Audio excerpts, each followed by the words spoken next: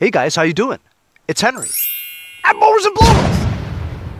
Good morning. It's about 10:30, and it's a lot cooler today. The sun is out, but uh, it's only about 80 degrees today, so a little bit of relief. Uh, we're getting some kind of tropical storm coming uh, the next three or four days uh, during midweek or something. Uh, tropical storm or hurricane Isaias, whatever. First one of the season, and it's kind of early too because hurricane season doesn't start un- until like September, so we're definitely a month early. Anyway, here it is. This is Jamal Alatet. Can you believe it? This is what was in the backyard for the past six months. Uh, pretty decent transformation. Um, thank you again for everyone voting for the color of uh, Jamal Alatet. Uh, I'm not, you know, I wasn't so into black. I was going to paint it all just red, but um, I do what the subscribers tell me to do. And um, what I like mostly about this paint job is um, the wheels. I know some of you guys don't like the white walls, but honestly, back in the day, during the hot rod era, right? A lot of the hot rods had red rims and white walls, and uh, it really does make this thing pop. If this was just like the white rims before, it would look kind of eh, you know? Uh, now that it's in the sun, I see that um, being cramped in the garage trying to paint and stuff is, is difficult to see sometimes when it's dark. So uh, now that it's out in the day, right, I could see that there are some spots that I missed. And unfortunately, I don't have any more paint. So uh, when I'm when I'm around, uh, when I'm out again, I might go out and pick up a couple more cans just to touch it up. Uh, in the meantime, I got to put the uh, light lens back on. As you see here, the sticker, I, I missed this area there because in my mind, when I masked things off, I, I masked that Craftsman words on there. I thought, oh, I'm not going to spray that area because it's masked off because why spray masking tape, right? But I forgot that I'm actually trying to paint that. So I, I missed that. There's some parts that I missed, you know. And of course, that's that cheap 98 cent quick color paint. So like I said, sometimes you require more than one coat on certain areas, you know. Um, there are some rear lights I need to put on.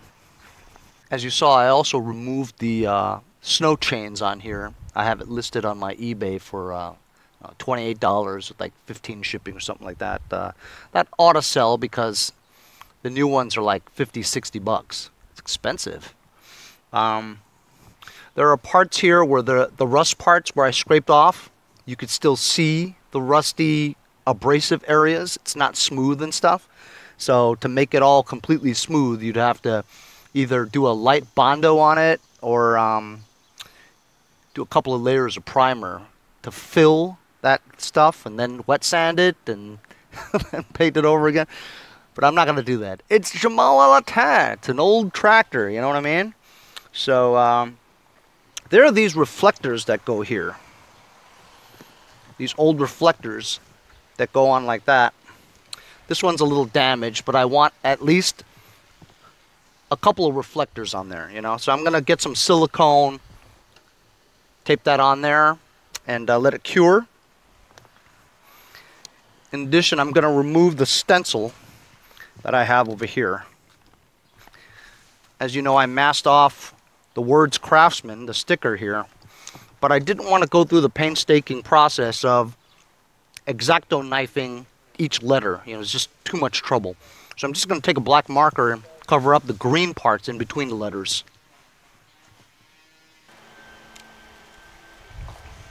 So my neighbors came out and they were checking it out. I want to show you guys something. Look over here.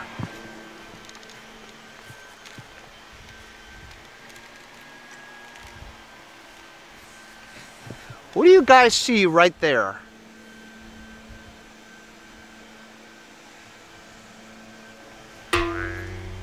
Almost seems like too much of a coincidence for me not to do it, huh? Let me know if you know what the hell I'm talking about.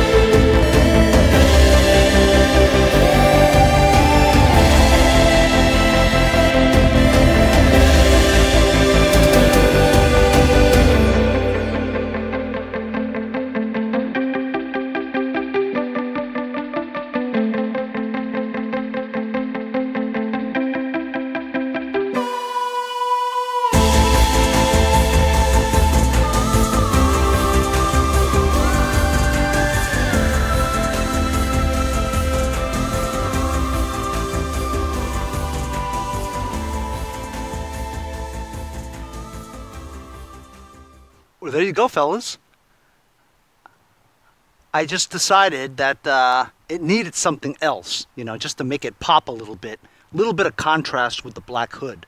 So when I was working on it over here on the outside, my next door neighbor, Steve, he told me that, uh, hey, you should do some kind of flames or something. I said, yeah, that's going to take a long time, you know what I mean? I mean, I'm, I'm artistically inclined, but not enough to, or confident enough to do flames, you know? Flames takes a special talent, you know what I mean?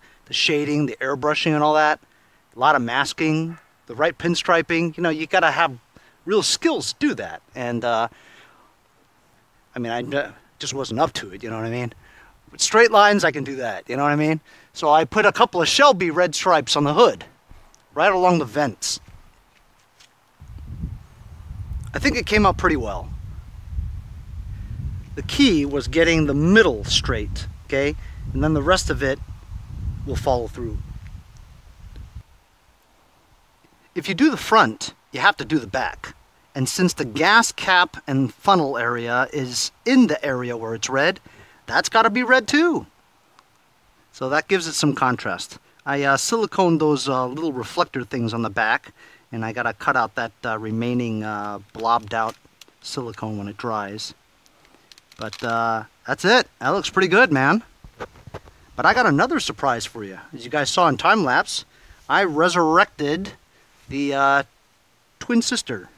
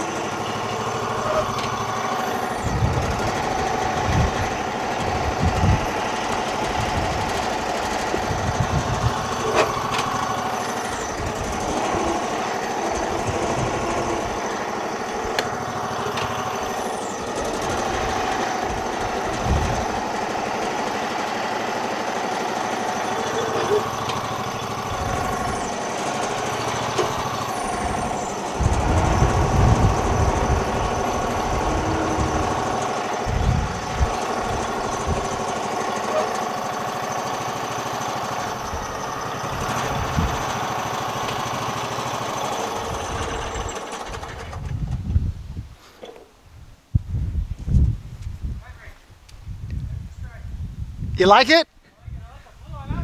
Holy cow. So there it is, fellas. The twin sisters. The Blue Bayou and Jamal Alatet. Jamal Alatet actually turned out pretty good, huh? Considering what I thought, you know? Um, I put a new battery in here. I took it out uh, for about nine months or so because I needed the battery for another project and didn't want to go out and get it, you know? I wasn't driving this thing anyway, you know what I mean? Uh, as some of you uh, older subscribers have known, uh, I redid this about a year and a half ago. It was one of my semi-new projects, you know, that I did. I loved it so much that I, I kept it, you know? Um, I haven't, uh, I've never used this snowplow in the winter, ever. Uh, because I finished it a year and a half ago, and for the past two years, we haven't had any snow that's enough to push, you know. Uh, I had a flat tire on that side over there, so uh, I had to pump it up and, um, you know, I had to take the wheel weight off to get to the nozzle to pump it up, then put the wheel weight back on again. But uh, honestly, I cranked it a little while, maybe 20, 30 seconds, right?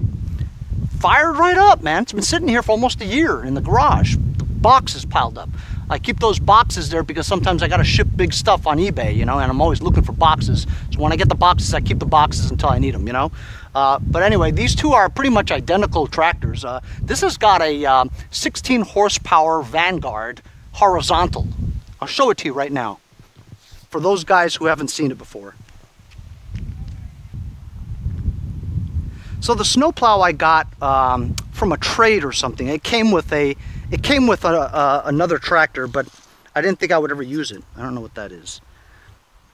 Um, I made it Lucas Oil themed because at the time uh, I was uh, just getting sponsored by them and uh, I wanted to show my appreciation. So it's for like promotional items and stuff like that, the video. So I have them uh, themed as the Lucas Oil one. So uh, my friend Dick W actually uh, named this.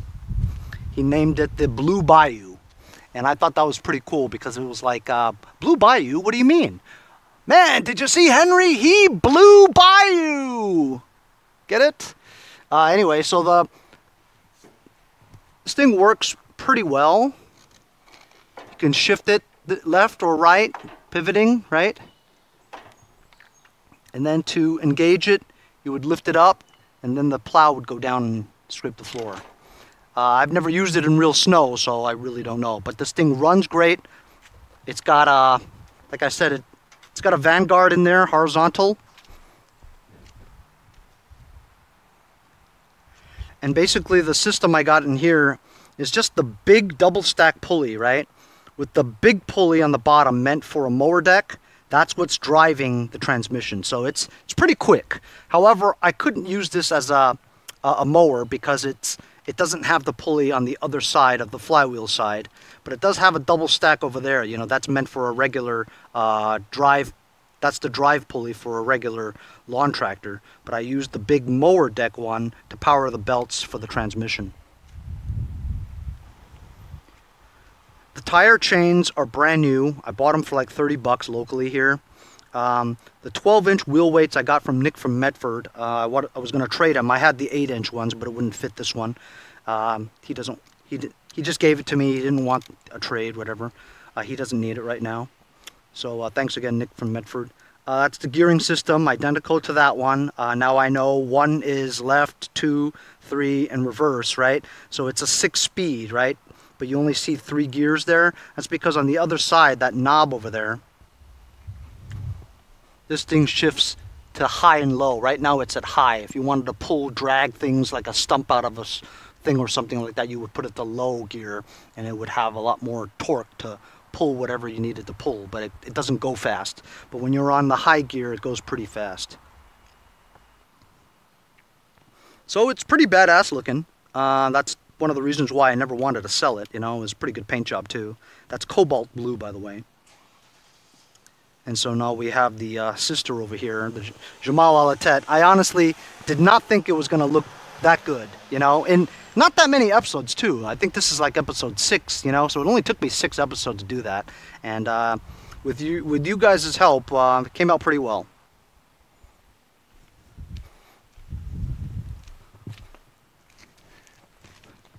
So I'm glad I had the opportunity to bring both of them out side by side to compare. And uh, I want to do a shout out to Bruce Wagner, who uh, donated to the channel yesterday. Thanks very much. And also to Stephen Glasgow of Mooresville, Indiana, for buying uh, a couple of bumper stickers. Thanks very much for supporting the channel, fellas. Keeping the videos coming every day. Um, these two tractors I'm very happy with. Uh, I still don't know what I'm going to do about this yet. Um, I'm going to sell it. But what should I sell it for? Should I list it for 1200 just to test the waters, you know? Let's go for a ride in the Blue Bayou.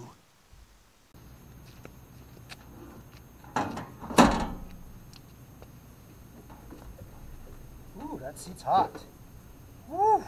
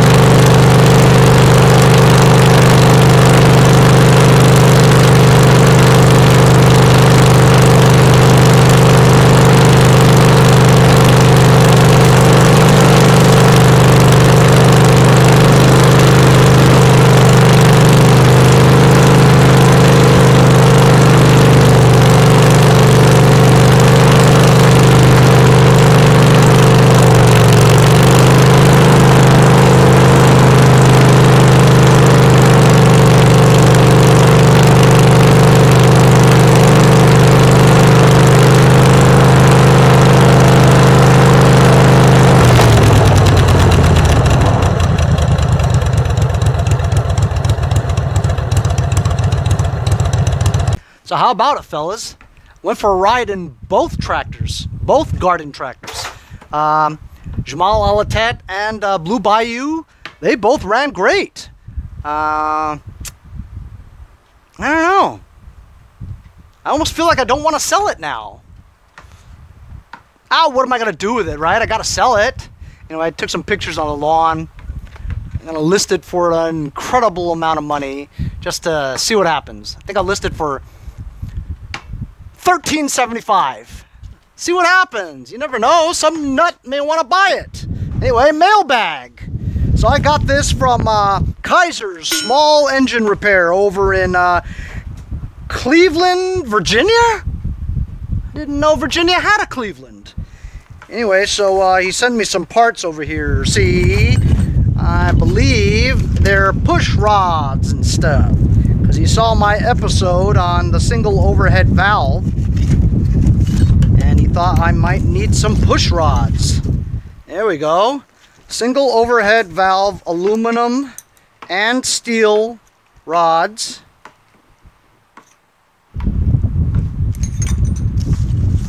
Ooh. Got a piston for 25 through 28 cubic inch engine, Briggs. That's to come in handy.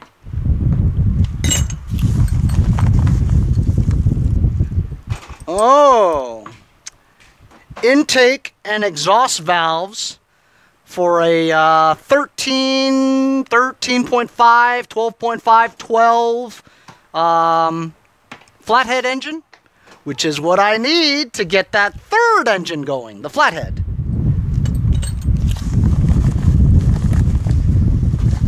And that does it. Ooh, there's a note. Ooh. So I've got some piston springs in here. Address, return address. Oh, I'm going to send you some stickers there, Mr. Kaiser.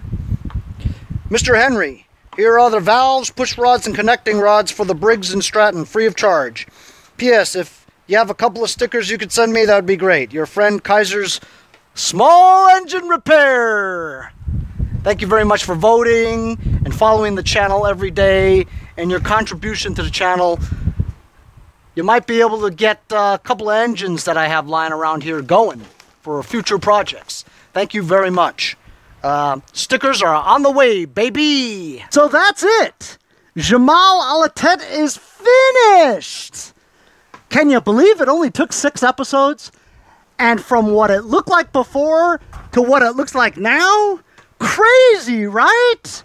Uh, I was very happy today to finish up this project and uh, to also get Blue Bayou out running too. You know what I mean? Just threw a battery on there, and that was it. That's great. Anyway, thanks a lot for watching the project, fellas. We'll see what happens tomorrow. See you guys next time on Mowers and Blowers.